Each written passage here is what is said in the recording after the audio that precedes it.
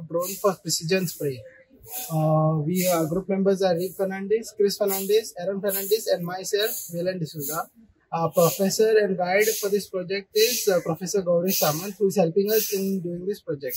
What is the application of this project? This is an agricultural drone we have built for specially spraying of pesticides on high-rise trees because it is uh, difficult for people who have to climb the trees and there are chances of them falling down. So to overcome this problem, we are building this drone. But is it affordable for the farmers? uh, if if it if it is affordable to farmers who have big property farms or even though they can rent the services because if we rent give it for rent like per hour so and so charges that they can rent it for that hour to do the uh, pesticide spray How much did it cost you to build this project?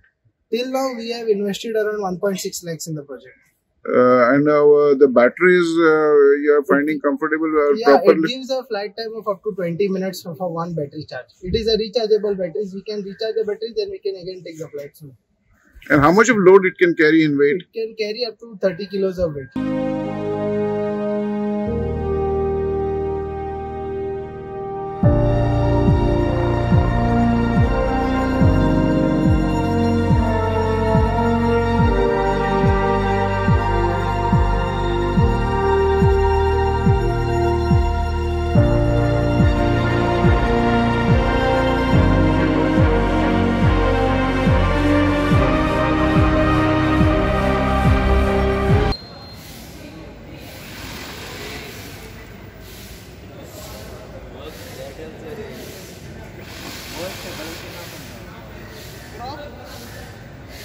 嗯,